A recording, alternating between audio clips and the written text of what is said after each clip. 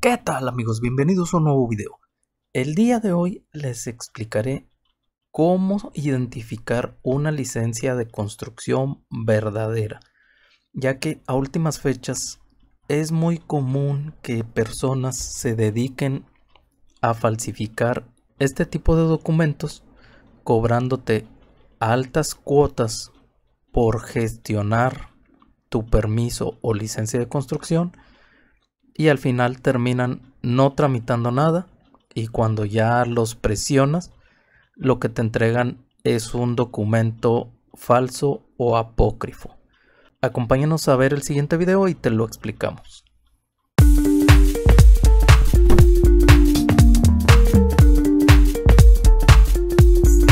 Si al reproducir el video te aparecen subtítulos, da clic a cualquiera de estos símbolos y ya no te aparecerán más.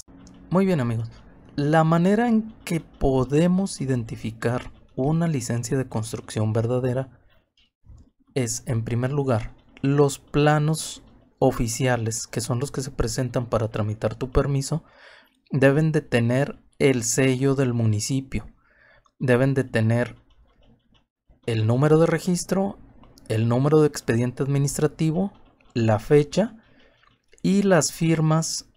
del, por lo menos del secretario de desarrollo urbano y de la dirección o el director de, de esta misma dependencia. Aquí podemos ver un poco más de cerca, este sello generalmente es de color azul o verde también puede ser, pero en caso de que sea un sello en blanco y negro, las firmas sí deben de ser a color y muchas veces se puede acompañar de un holograma.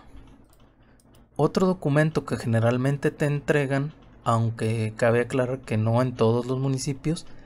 es la carátula o como anteriormente se le conocía como cartulina porque era en un papel duro de cartulina del permiso de construcción. Este es el documento que debemos de tener a la vista para que si llega un inspector pueda identificar que realmente contamos con nuestra licencia. Generalmente aquí se incluyen todos los datos del propietario, el titular, el director responsable de la obra, los datos de el tipo de construcción que se autorizó, en este caso es una casa, si cuántos metros de construcción, si vas a regularizar, si vas a construir barda, etcétera. También debe traer los datos del expediente administrativo y los datos de la ubicación de la propiedad. A veces se incluye un croquis de ubicación y debe igualmente que los planos estar firmada por el secretario y el director de desarrollo urbano. Otro documento que nos da certeza de que se tramitó el permiso de construcción y esto es en obras nuevas es la carta donde se nos asigna el número oficial. Aquí deben de mencionarse todos los datos de la obra y finalmente eh, se informa el número que se le otorgará a la casa o negocio si es una licencia de uso de suelo y con esta carta podremos hacer la contratación de los servicios de agua y drenaje, luz, gas, etc. Otro documento que te va a permitir autenticar tu permiso de construcción, sobre todo en el caso de licencias de uso comercial, es que los planos sellados se deben de acompañar de un documento que se llama acuerdo o instructivo, que no es más que un documento en el que se indica las condiciones bajo las que se autorizó tu licencia y se describe toda la documentación que presentaste y bajo qué lineamientos o normas se autorizó tu permiso. Consta de, puede ser desde una hasta cinco o seis hojas, debe estar firmado por el secretario de Desarrollo Urbano y como te comentaba en este caso, este municipio coloca un holograma. Otro documento que nos dará certeza de que realmente se tramitó la licencia es el recibo de pago de derechos Aquí debe de incluirse igual nombre del propietario, la dirección, el expediente catastral y debe de referirse al expediente administrativo. Y los cargos deben de ser por aprobación de planos de permisos, por construcción de la barda, etcétera, número oficial. Entonces, el tener el recibo de pago del permiso nos dará certeza de que realmente se tramitó.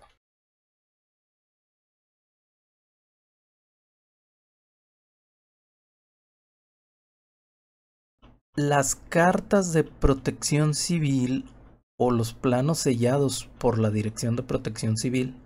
si bien forman parte del expediente que se integra para obtener una licencia,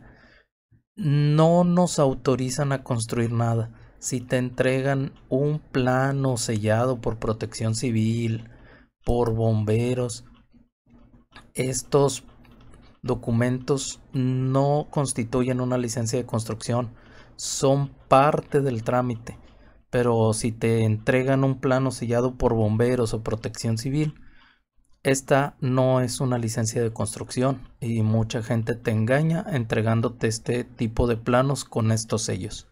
Muy bien amigos, esperemos que esta información les ayude a evitar estafas en cuanto al trámite de sus licencias de construcción, ya que si se pueden meter en un problema bastante grave en caso de que tengan una licencia de construcción apócrifa o inclusive con el simple hecho de que no tengan una licencia de construcción ya podrían meterse en un problema. Muy bien amigos, si te gustó el video regálanos un like, comparte el video si tienes algún amigo que esté en etapa de construcción, no olvides suscribirte al canal y nos vemos en el siguiente video.